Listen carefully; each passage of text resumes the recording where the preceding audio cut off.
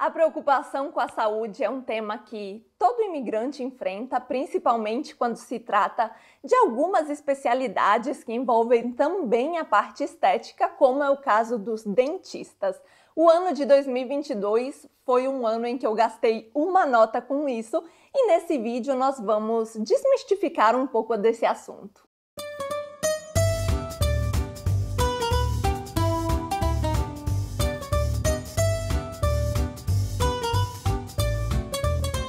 Seguinte, pausa esse vídeo.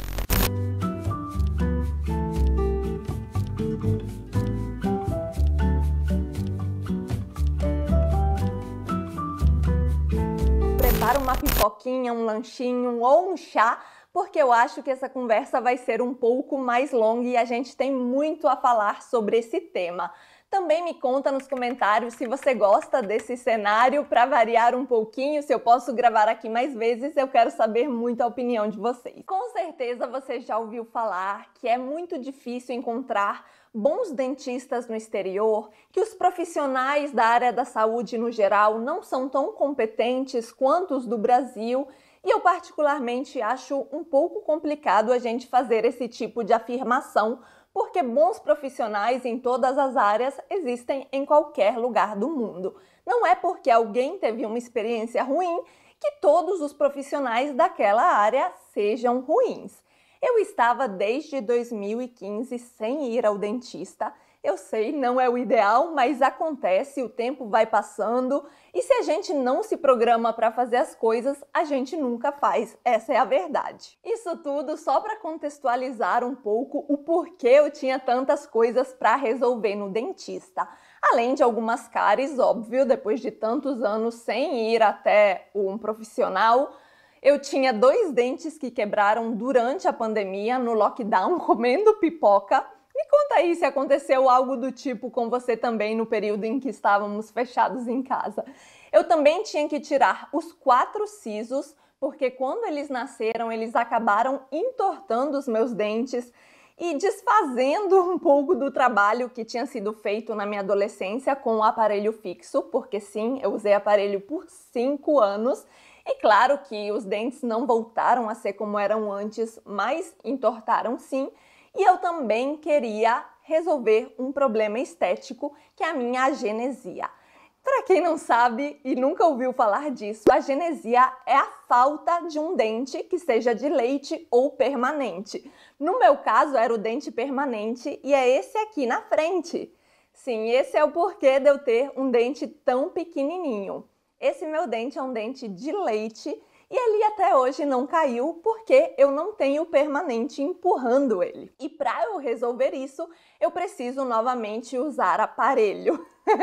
Sim, mais alguns anos de tratamento. E isso é resolvido de que forma? Inicialmente, alinhando todos os outros dentes usando um aparelho e depois cobrindo ele com uma faceta que é a famosa lente de contato, até ele cair naturalmente com o próprio peso da faceta, acaba caindo uma hora ou outra.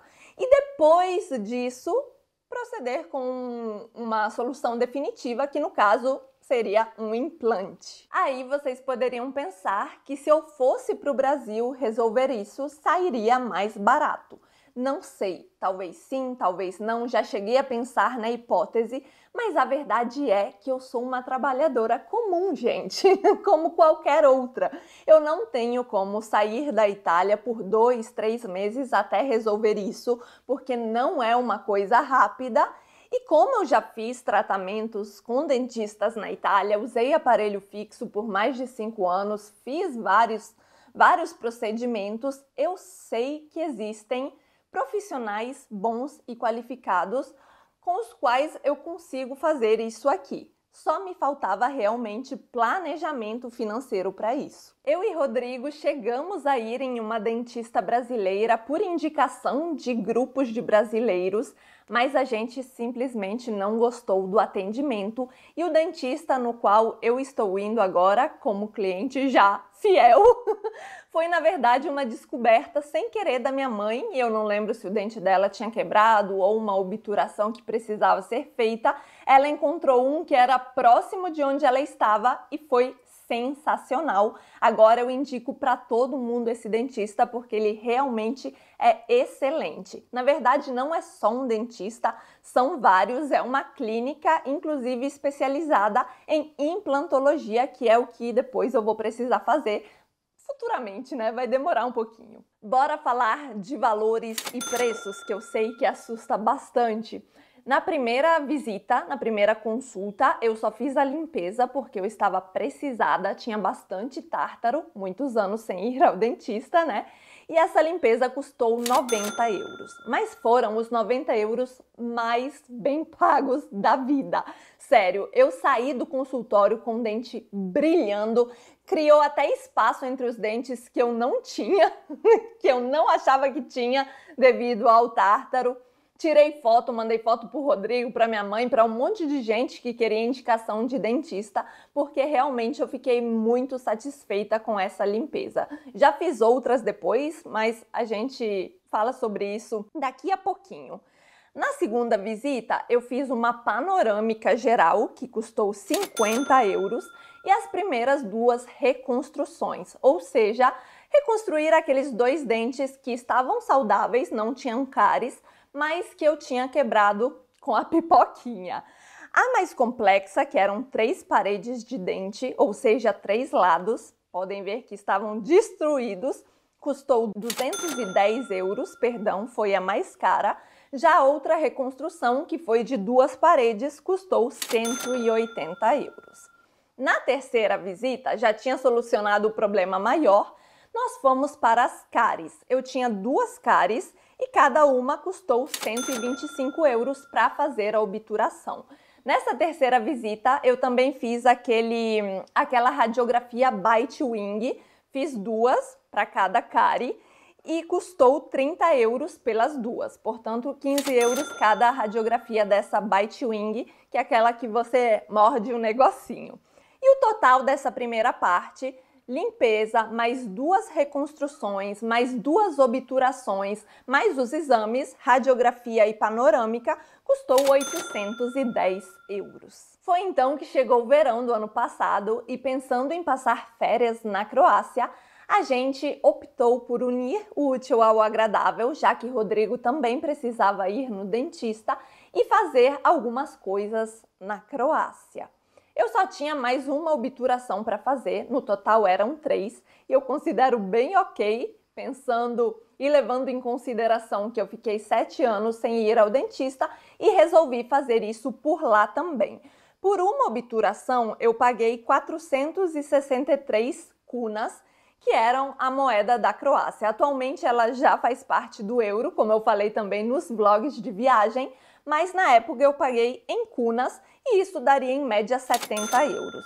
Gente, é quase a metade que o valor que eu paguei na obturação na Itália. É realmente muita diferença. Mas para esse vídeo não ficar muito longo, muito extenso e cansativo, eu vou fazer outro na sequência sobre essa experiência de fazer o tratamento dentário na Croácia. Fiquem tranquilos, vai ser o próximo que vai sair no canal, então vocês não vão ter que esperar muito por isso. É só para a gente não se atropelar e esse vídeo aqui ficar só sobre dentistas na Itália.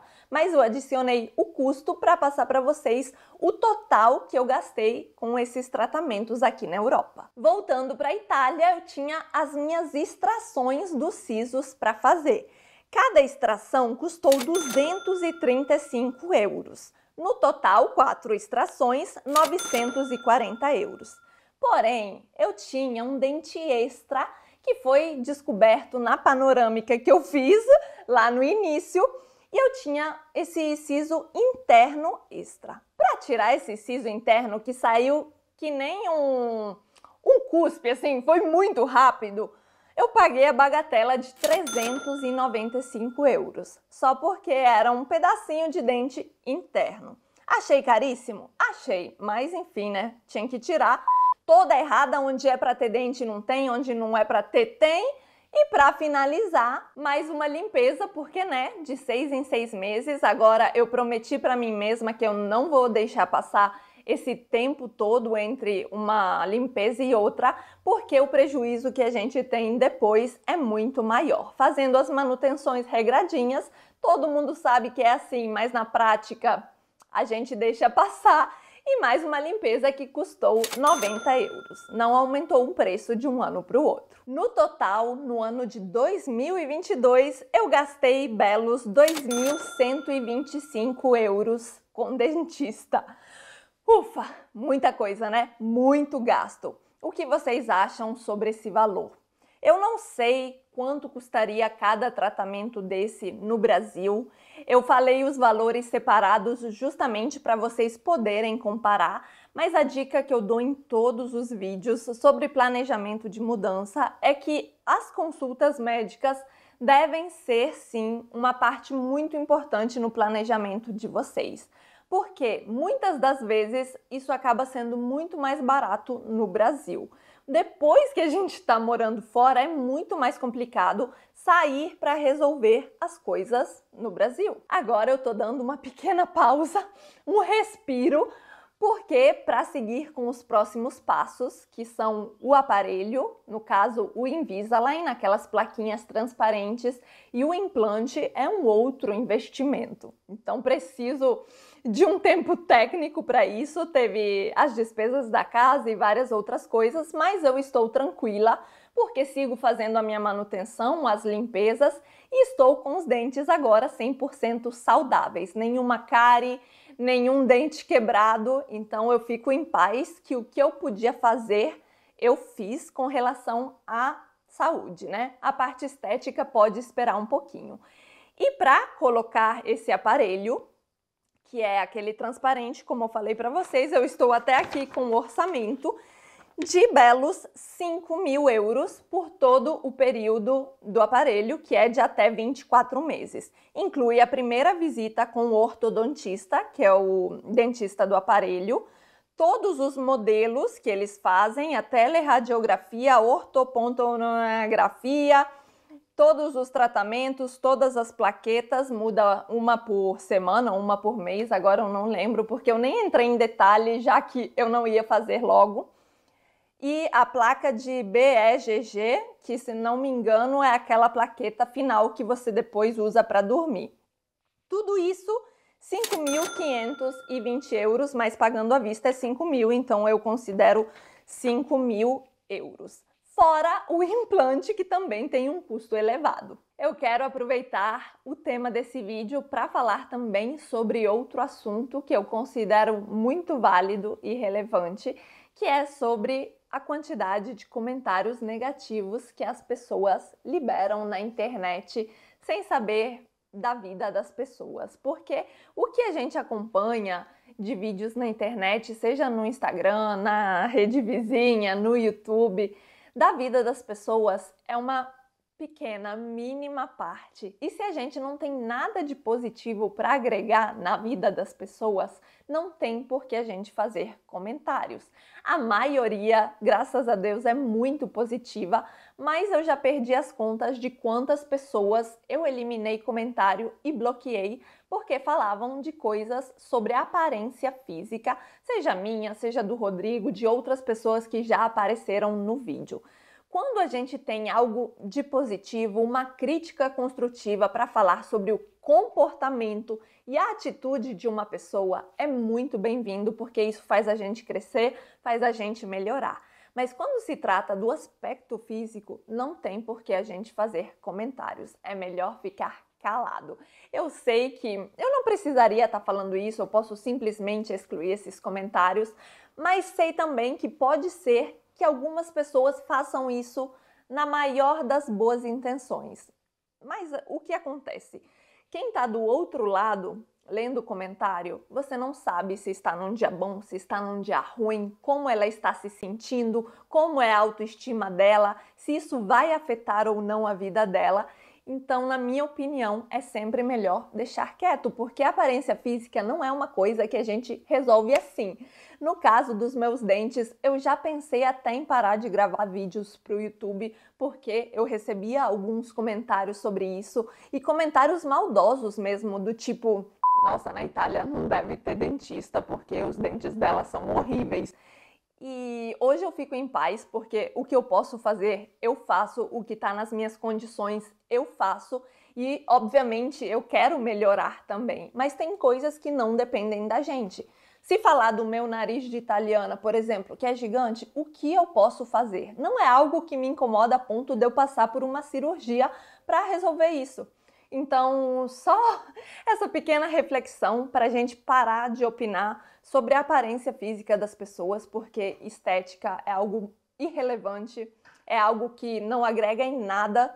E eu tenho certeza que é muito mais válido a gente focar nas coisas que importam, no conteúdo, do que se apegar a, a essas coisas que são mínimas.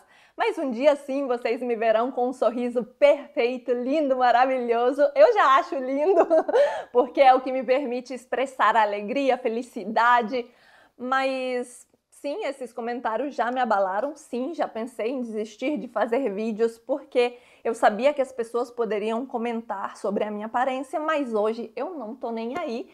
E eu divaguei bastante nesse vídeo, mas senti que precisava falar sobre isso, porque a gente está em uma era em que a internet é terra de ninguém, mas aqui no meu canal a terra é minha, então eu apago sim, eu bloqueio sim, e se tiver comentário desrespeitoso, você vai ser bloqueado. Mas enfim, era isso. Se vocês gostaram do vídeo, não vão embora sem deixar um joinha. Se inscrevam aqui no canal caso ainda não sejam inscritos, porque tem muito conteúdo e notícias sobre a vida na Itália. Noi salutiamo qui, um bacio e até o próximo vídeo.